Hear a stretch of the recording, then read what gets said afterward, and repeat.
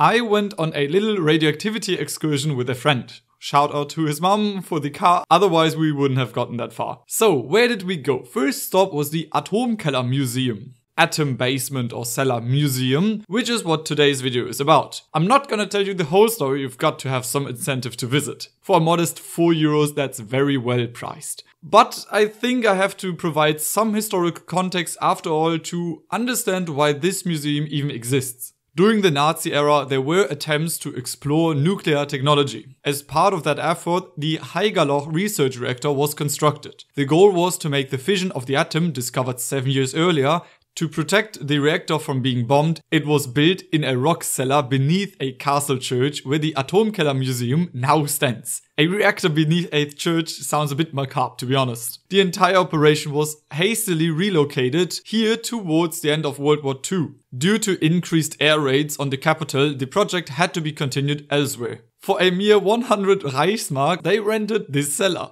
Imagine explaining to today's landlords, what do you need the beer cellar for? Oh, hopefully a function nuclear reactor. We're soon gonna build it. The delivery of 1.58 tons of uranium is already on the way. I don't I don't think that will work today. There had been previous experiments, G1 to G3, and other before that, but they hadn't yet used uranium in this characteristic way. This is where the large scale experiment B8 was conducted, led by Weizsäcker, Wirtz, and from far away Heisenberg, who occasionally visited. The B8 experiment is the focus of this exhibit. Now onto the exhibition. First you pass the beautifully recreated experiment table of Otto Hahn, which is explained really well. On the table he casually had his 1 gram of radium in the form of a radium beryllium neutron source with paraffin to induce fission. The fission products could be collected using a Hahn's filter setup and the residue was measured with a Geiger-Müller counter displaying the counts on the meter. That's roughly how the things worked back then, more on nuclear fission in future videos. The setup was really nicely recreated here. There were also some really nice mineral samples containing uranium, but they were displayed without much context. Lovely specimens, no doubt, but we are in the Black Forest prime uranium mineral area.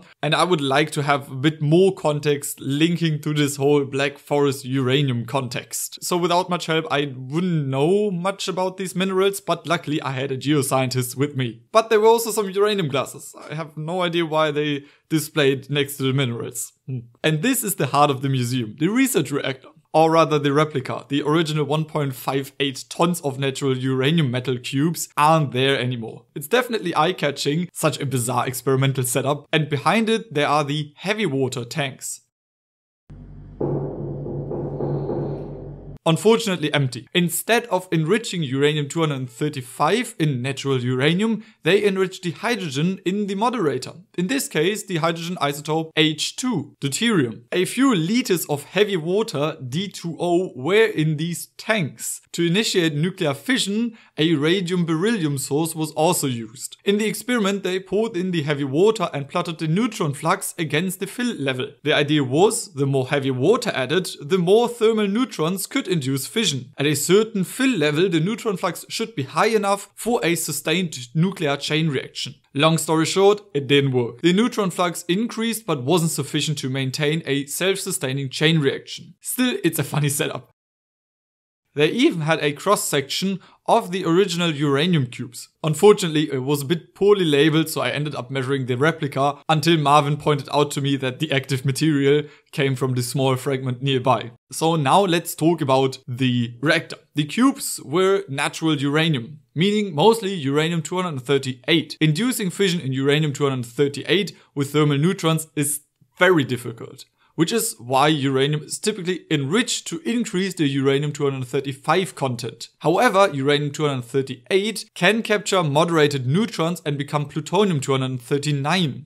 Theoretically, self-sustaining fission could be achieved with natural uranium cubes. Researchers at the Karlsruhe Institute of Technology examined these cubes for signs of plutonium-239, not because the reactor was intended to produce weapon-grade plutonium, but the presence of plutonium-239 and uranium-236 would indicate a high neutron flux. Their findings? Nothing. The neutron flux wasn't sufficient. This experiment was far from producing any weapon grade material. Achieving that would require 80% enrichment of uranium 235. These experiments were a bit of a failure in terms of bomb making. Now back to the museum. The museum features cool posters, a short film and a model of a nuclear power plant. Across from Otto Hahn's table was the museum's low point in my opinion. An exhibit attempting to explain the process from ore to fissile material. The display was messy with missing or misplaced samples. For example, UO2 uranium dioxide isn't yellow, but the ammonium uranyl carbonate should have been represented instead there. The display case was a bit outdated and bent. It's a real shame in my opinion. But I've told them my findings and they told me that they are going to fix it. So maybe at the time of the publication from this video, it's already fixed. Who knows? So final thoughts. If this display were to be cleaned up and rewrapped, the museum could have easily be a 10 out of 10 for just 4 euros though. It's a quirky piece of nuclear history and it's well worth a visit. It's in the Black Forest, so if you're on the hunt for uranium in this area, I would highly recommend you go to this museum.